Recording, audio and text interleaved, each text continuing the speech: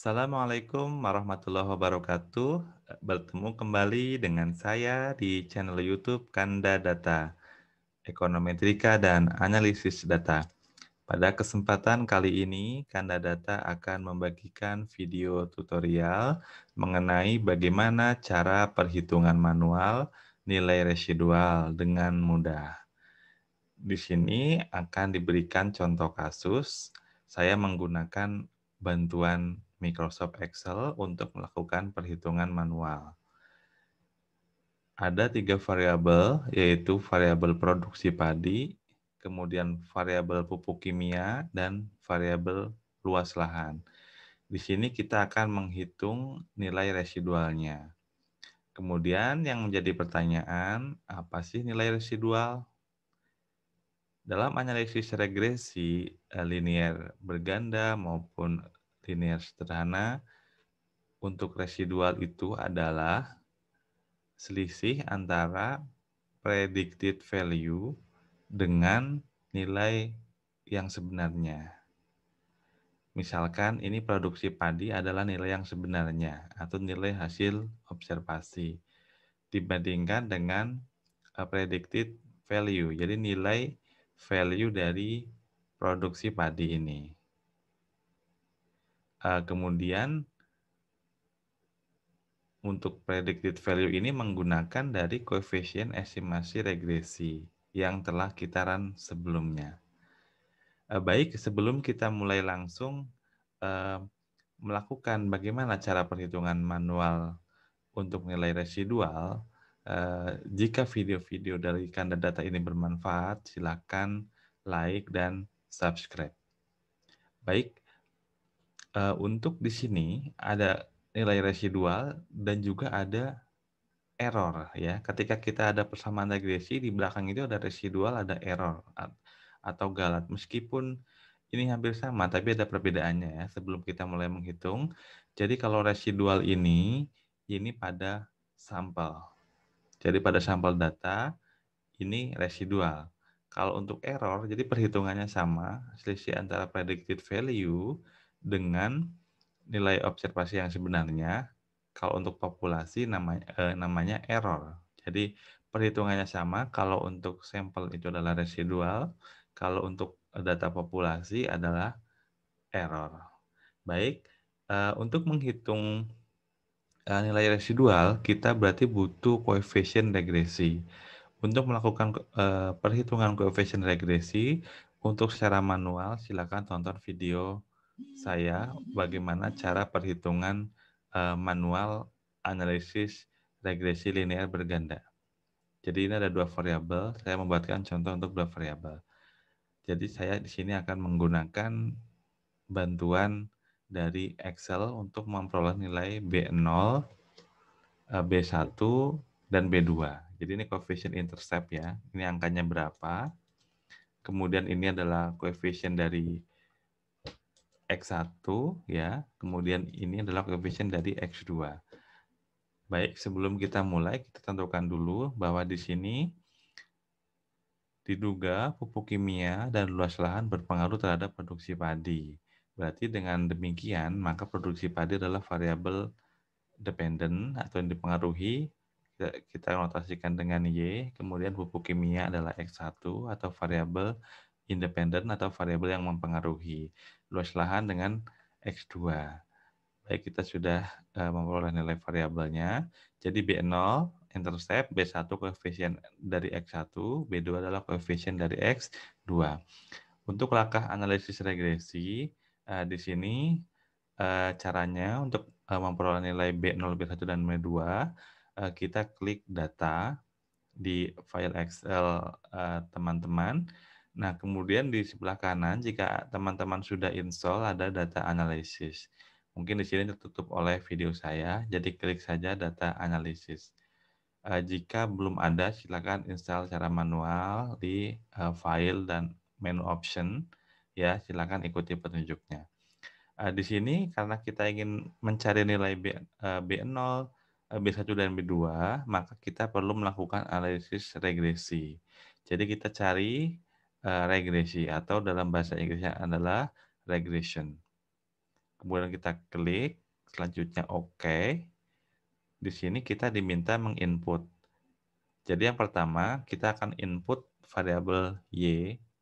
Jadi kita di input Y rank, kita buka dulu, kemudian kita blok semua termasuk dengan labelnya ya. Kita blok semua termasuk dengan labelnya. Kemudian kita close. Kemudian untuk input X rank kita buka juga sama. Ini kita isi dengan variabel yang X1 dan X2 sekaligus dengan labelnya. Kemudian kita uh, close.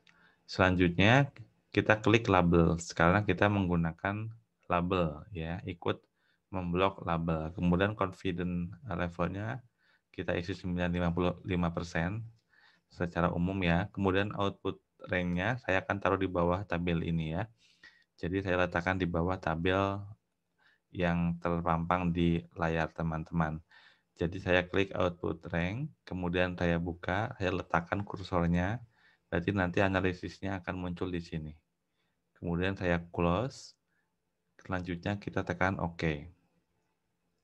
Excel akan menganalisis uh, dari yang kita runkan. Kita sudah peroleh, jadi di sini kita langsung saja.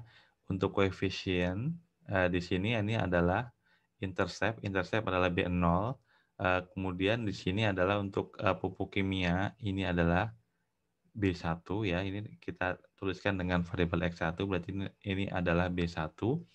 Kemudian untuk luas lahan, tadi kita notasikan dengan X2, jadi kita tuliskan eh, dengan sebagai koefisien B2.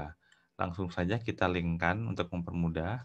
Jadi kita ketik sama dengan, kemudian linkkan yang dengan intercept.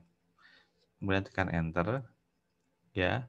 Kemudian yang B1 eh, kita linkkan eh, dengan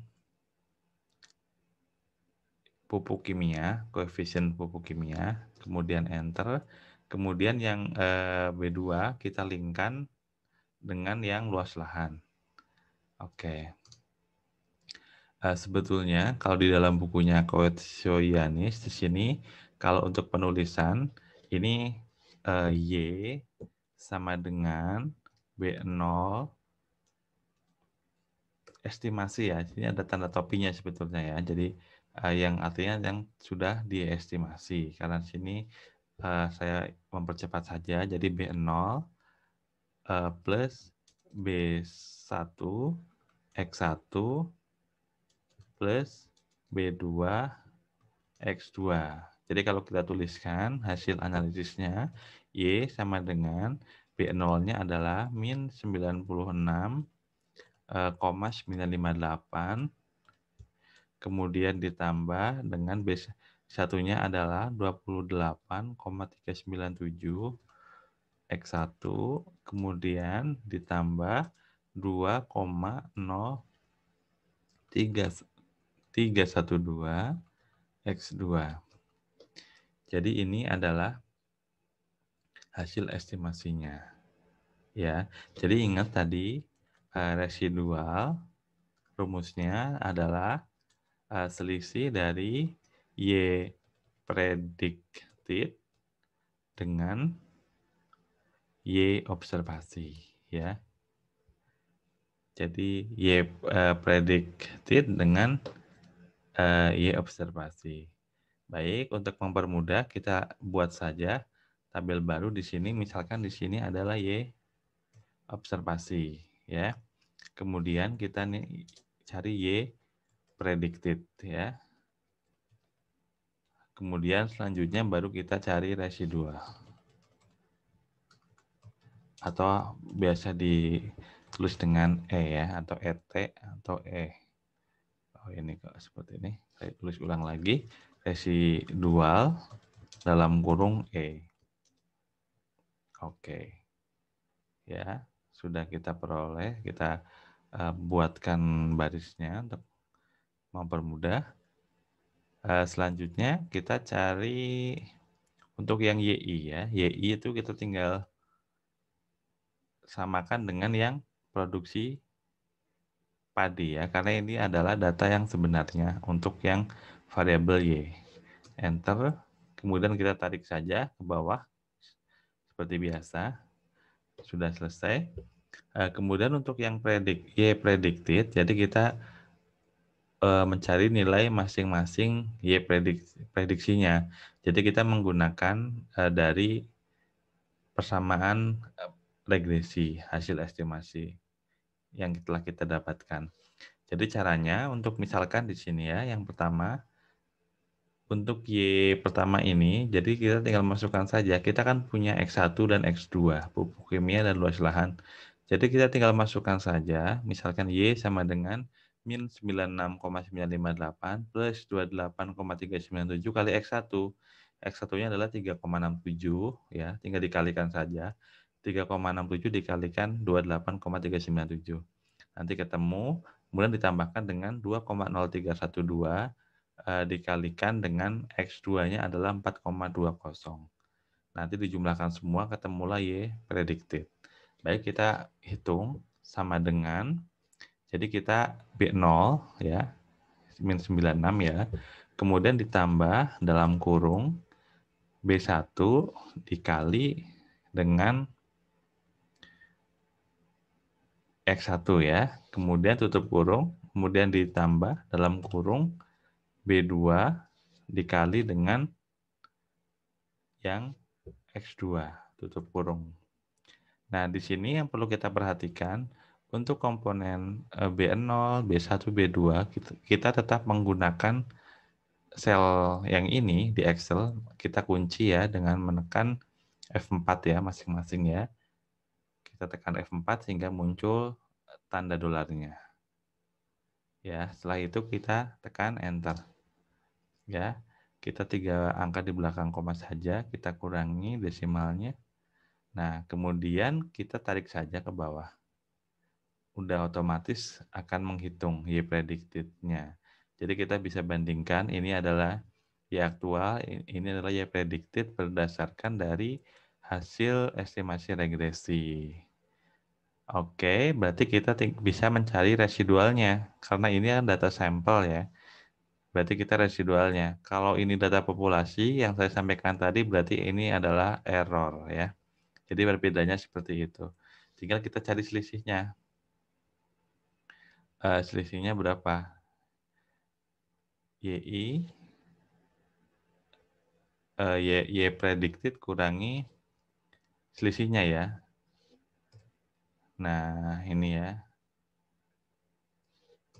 Oke. Kemudian kita tarik ke bawah. Oke. Kemudian kita misalkan tiga angka di belakang koma boleh. Jadi ini adalah nilai uh, residualnya ya. Nilai residualnya seperti ini. Jadi selisihnya ya. Baik, uh, begitulah cara kita mencari nilai uh, residual. Uh, semoga bermanfaat. Saya akan kembali jika video-video ini bermanfaat, silakan like and subscribe dan share pada teman-teman Anda. Eh, terima kasih, sampai jumpa di video video kata data berikutnya. Assalamualaikum warahmatullahi wabarakatuh.